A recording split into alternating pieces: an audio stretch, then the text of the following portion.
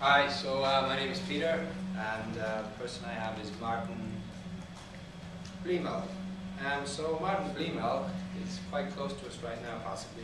Well, actually, he's probably at home because it's the weekend. But um, he's a uh, lecturer in innovation and entrepreneurship, and he's the director of the Centre of Innovation and Entrepreneurship.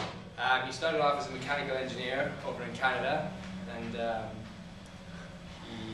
decided that wasn't for him, I guess, and uh, ended up getting involved in the startup scene as a consultant for startup firms. Um, he researches all about social networks and how they affect entrepreneurship. Uh, in terms of his other relevant information, um, I mean, yeah, he's involved with CIE, that's the main thing of interest, and he's uh, a lecturer here. So in terms of his contact details, I have his email, I have his probably send him an email uh, to get in touch with him. I also have his phone number.